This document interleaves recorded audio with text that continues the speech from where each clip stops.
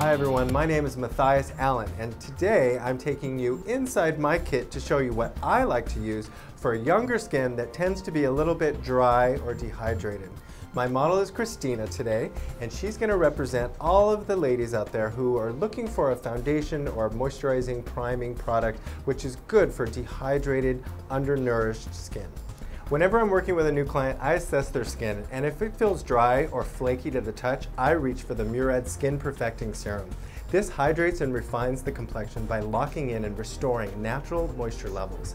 When it is applied before makeup, this silky gel provides a flawless, long-wearing finish. Squalene, which is derived from olives, intensely hydrates and smooths. Avocado and evening primrose oils help skin retain vital moisture and ceramides reduce flaking and restore suppleness. Applying the Perfecting Serum with your fingers works best. It actually acts as a primer and a moisturizer in one. It is fantastic for dry skin. The Kogendo Maifanshi Moisture Foundation was created and tested in Japan to wear beautifully for 10 hours or more with a perfect ratio of 60% water, 30% highly refined oils, and 10% powder. This trio of ingredients is encapsulated and released throughout the day to keep your skin looking fresh, never dry, and moist. Dry skin tends to eat foundation rather quickly, so the great thing about the Maifanshi foundation is that it's very creamy and opaque.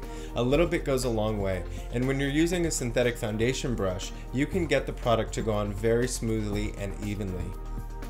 The best thing about this foundation is it will keep your dry skin feeling fresh, hydrated, and moist. Now if you have dry skin, never use a powder blush, always use a cream blush.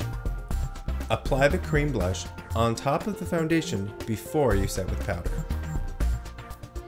Dry skin no more, look at that glow. The My Maifanshi face powder is a finely milled silk powder formula, which is excellent for dry skin. It reflects light to give skin a flawless finish with a slight radiance. It also contains a natural moisture retaining hyaluronic acid, which makes it an ideal powder for those with dry skin. If you're wondering what kind of brushes I'm using in today's tutorial, I'm using Sigma brushes. These are incredible. I just recently discovered them and I'm a huge fan.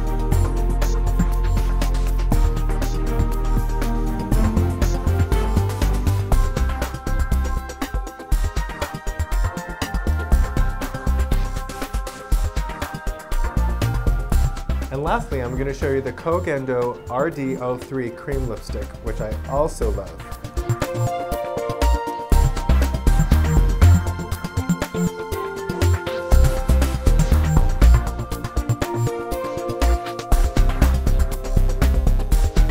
If you have dry, dehydrated skin, try two of my favorite products from in my kit, the Murad Perfecting Serum and the Kogendo Maifanshi Moisture Foundation.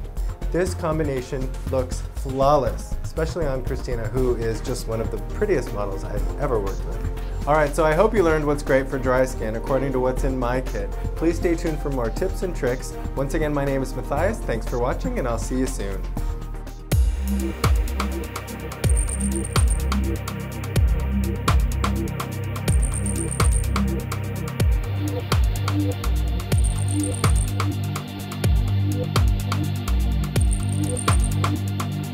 Yeah.